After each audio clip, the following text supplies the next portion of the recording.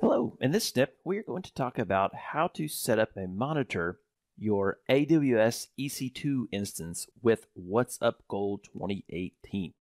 All right, the first thing we have to do is we need to set up credentials for AWS. So WhatsUp doesn't know how to authenticate to your AWS environment. We have to set up those credentials first. So to do that, we go over here to Settings, go down to Libraries, then go over to Credentials. So notice that I've already got my credentials set up, but the process is very easy. We hit the plus here, we go to AWS, and then we add in our access key ID and our secret access key. So to do that, you would need to go into the IAM user's role of your AWS portal and set that up. But since this step is not on AWS IAM roles, feel free to check out the library, see if we already have a snip on that, or uh, just as simple as going to the AWS documentation to get that done. So once you have the access key and secret access key ID in there, then you will have the a credential object set up. So I'm calling this one AWSRO because I set up an IAM user which is read only to my EC2 instances. So now I have a AWS credential set up. So once I have the credential, then I'm going to discover the EC2 instance. To do that, I do and run a new discovery. I can go up here to discover and then go to new scan. And then I can uncheck all of these IP options here because we're not going to be scanning by IP. We are going to discover the AWS environment.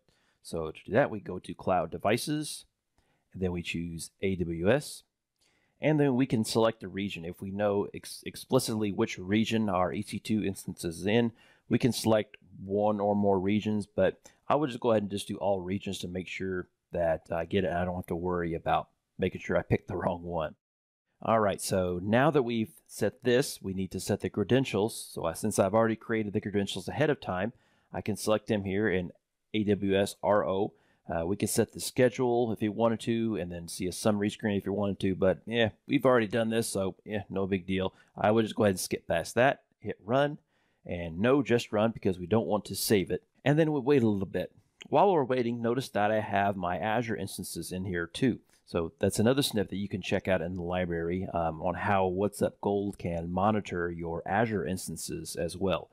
So this will take um, a little bit WhatsUp Gold is going out and checking AWS to do that discovery of all the different regions and in the all of the instances that our IAM user has access to.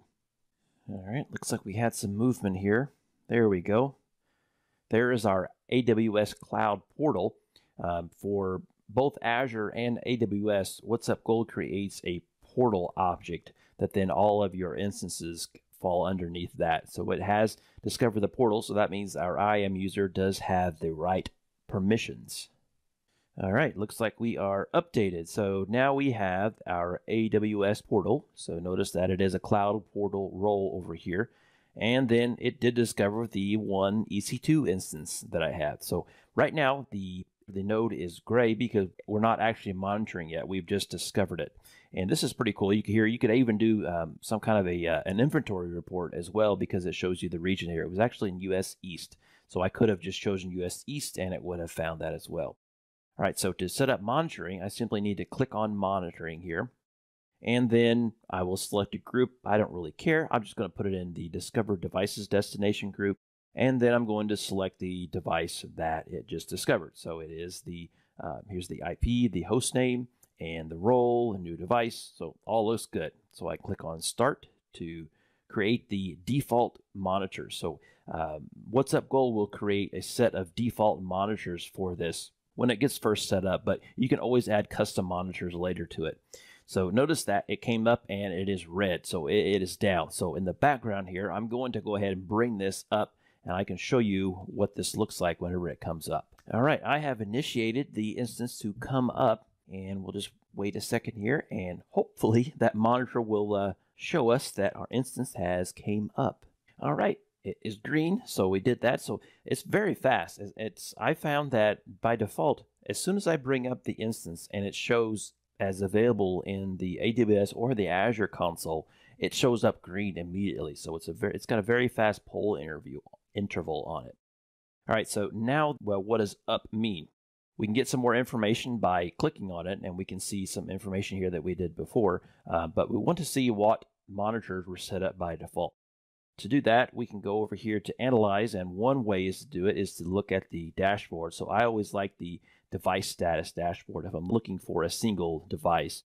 I can go over here to monitoring, and then I can select the device that I want to monitor. So it's going to be the AWS node, not the Azure one I have. I will click on the AWS one here, hit apply, and then it will go ahead and bring up all of the monitors they set up. So notice that here, the monitor is applied. It's by default. It's set up the virtual machine CPU usage. It set up the cloud resource monitor. And at this point, you can add just about any monitor that you want. WhatsUp Gold billing monitoring, so you can actually uh, figure out how much money this uh, EC2 instances is costing you, and a whole lot of other different monitors. That has been how to monitor an AWS EC2 instance in Ipswitch WhatsUp Gold 2018.